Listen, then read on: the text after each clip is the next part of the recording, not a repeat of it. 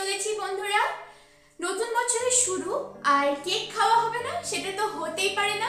তাই আমি আজকে গ্যাসের উনানে খুব সহজভাবে ডোরা কেকের রেসিপিটি আপনাদের জন্য নিয়ে চলে এসেছি।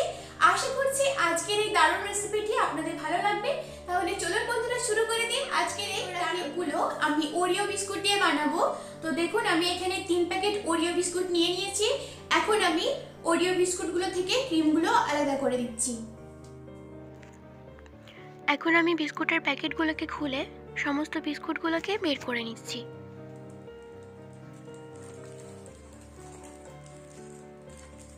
সমস্ত প্যাকেট থেকে বিস্কুট বের করে নেওয়া হয়ে গেলে এবারে আমি একটা ছুরির সাহায্যে বিস্কুটগুলোর থেকে ক্রিমগুলোকে আলাদা করে অপর একটা পাত্রের মধ্যে নিয়ে নিচ্ছি।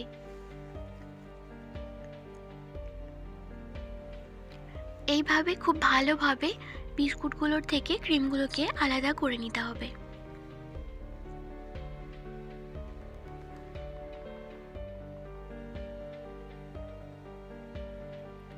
সমস্ত ক্রিম আলাদা করে নেওয়া হয়ে গেলে দেখুন আমি এখানে একটা মিক্সিং জার নিয়ে নিলাম।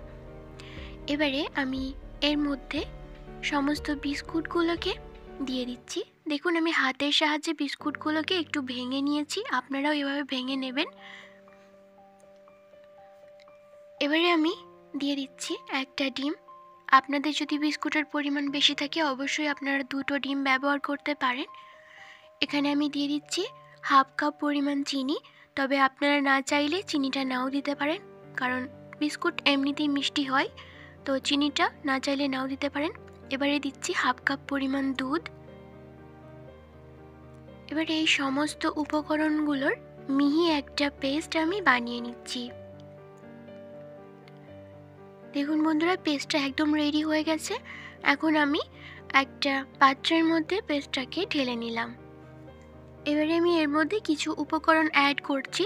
প্রথমে দিয়ে দিচ্ছি হাফ চা চামচ পরিমাণ বেকিং পাউডার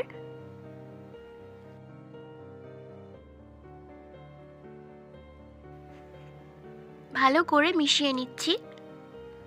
এবারে আমি দিয়ে দিচ্ছি এক চা চামচ পরিমাণ ভ্যানিলা এসেন্স আমি যেহেতু এখানে ডিম ব্যবহার করেছি তাই ভ্যানিলা এসেন্সটা দিলাম।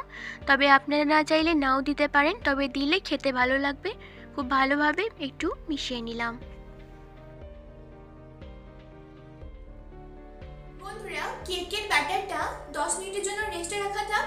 ততক্ষণে আমি কেকের ভিতরে যে ক্রিমটা হয় সেটাকে রেডি করে নিচ্ছি এবং সেটাও আপনাদের ঘরে আমি দেখিয়ে দিচ্ছি। তো দেখুন এদিকে আমি বিস্কুটের ক্রিমগুলোকে নিয়ে নিয়েছি। এবারে এর মধ্যে আমি দুই টেবিল চামচ পরিমাণ গুঁড়ো দুধ অ্যাড করে দিলাম। এবারে আমি এর মধ্যে অল্প পরিমাণে একটু লিকুইড দুধ দিয়ে দিচ্ছি। এবারে এই সমস্ত উপকরণগুলোকে একসঙ্গে মিশিয়ে একটা পেস্ট আমি রেডি করে নিচ্ছি।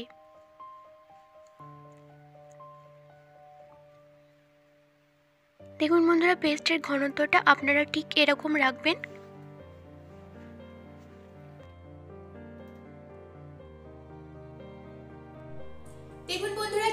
ব্যাটারটা আমার রেস্টে রাখা দশ মিনিট হয়ে গেছে, এখন আমি এবারে কেকগুলোকে বানিয়ে নিচ্ছি।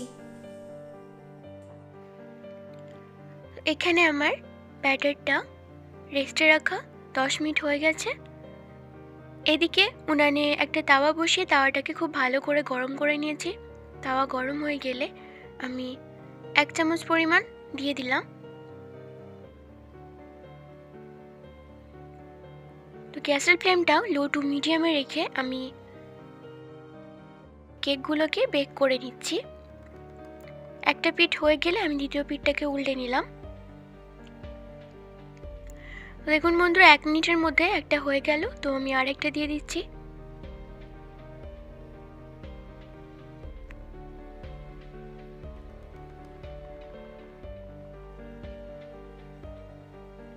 দেখুন, দ্বিতীয়টাও হয়ে গেল।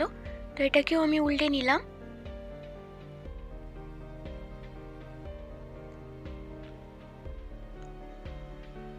বাকিগুলোকেও আমি সেমভাবে করে নিচ্ছি।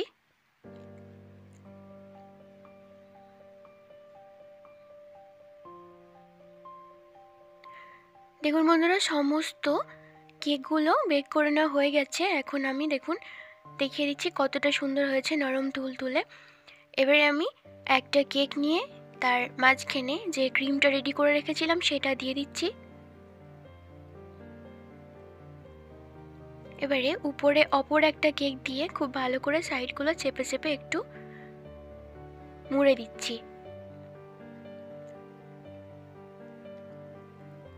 বাকিগুলোকেও একইভাবে করে নিচ্ছি। বন্ধুরা, আপনাদের যদি কেকগুলো সমান না হয়, আপনারা ছুরির সাহায্যে সাইডগুলো কেটে একটু গোল শেপটা ভালো করে দিয়ে নিতে পারেন।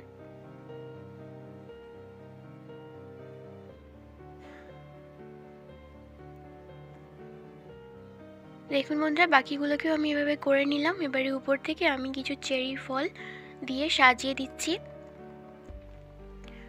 বন্ধুরা এই কেকটা খেতে খুবই ভালো হয়। দেখুন, আমি আপনাদের একটা কেটে দেখাচ্ছি। দারুণ লাগবে খেতে। আর এর আগেও আমি দুই ধরনের কেকের রেসিপি আপনাদের সঙ্গে শেয়ার করেছি। তো আমি ডেসক্রিপশনে লিংক দিয়ে দেবো, আপনারা চাইলে দেখে আসতে পারেন। ওই কেকগুলোও খুবই সুস্বাদু এবং এই কেকটাও খুবই সুস্বাদু। আপনারা চাইলে অবশ্যই বানিয়ে ফেলতে পারেন ঝটপট। ওভেন ছাড়া এরকম সুস্বাদু একটা কেক তাওয়ার মধ্যেই।